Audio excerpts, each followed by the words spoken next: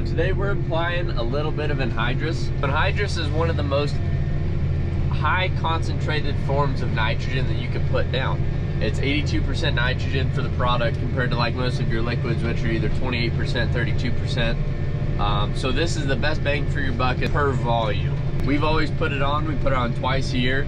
Uh, once right before we drill and then the other time is right before we plant, either coming in in February to do it, or doing it in the fall whenever it's still cold out. So we're running a 2310H. You probably can't see it because it's a little dry back there. But this is a 2310H, is a 23 row anhydrous bar. It's a disc unit.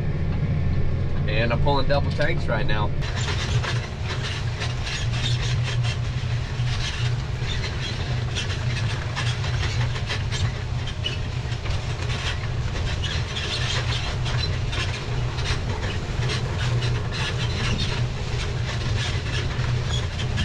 So these are the row units on the bar itself. So really there's two kinds. There's the disc unit, which is what this is, and then there's a knife unit. The knife shanks it in, so it's more of a tillage tool. Well, this is designed to be a no-till unit. It's got the same kind of scraper and disc setup as most of your disc drills would. And then there on the bottom, there's an orifice. And that's where most of the anhydrous comes out as it gets injected from the tool. Um, and then these two closing wheels, they just close the trench as you go. Because you can run up to eight mile an hour with this machine in smooth conditions. It's made for speed. So when all your fertilizers coming out of these tanks, which is anhydrous ammonia, and it gets fed through the lines up to this cooler. Then the cooler is designed to take it from a gas form back down to a liquid form. So when you inject it in the ground, you have less losses. Because a lot of times with an anhydrous, if you don't get that trench sealed properly or you don't get it put in moisture like you should, you're gonna lose it. It's gonna vaporize back into the air or volatilize after a couple days. The only complaint about a tool like this really is uh, it is very expensive to run.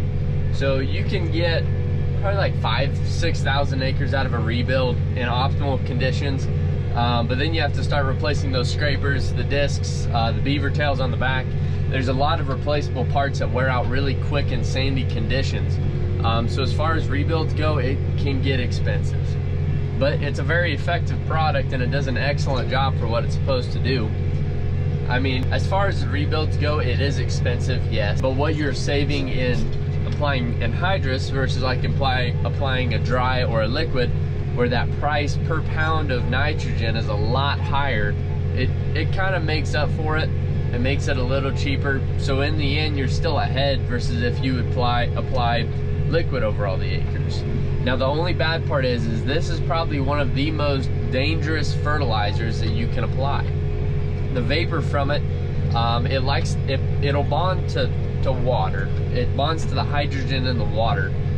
Um, so like if you walk out and that dusts you out, it's gonna bond to all of the, the water in your eyes. If you breathe it in, it locks up all the air in your lungs. So all in all, it is an extremely dangerous product, but so is everything else that you apply in farming. Chemicals, liquid fertilizer, dry fertilizer, it's all dangerous in its own way. If you respect the product, treat it how it should, be safe in everything you do, and just take your time, it's not a race. You'll be just fine. There's a lot of people that are trying to phase out hydrous completely.